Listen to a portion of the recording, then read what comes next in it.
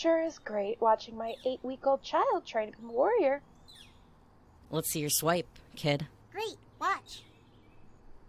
As a mother, I couldn't be prouder. Fantastic job, son. You're going down, Hazelstar. My warriors are going to drive you from the forest. You talk really big for a clan with two less cats than mine. You ready, Specklepaw? You're the deciding factor here. Remember to go for the throat.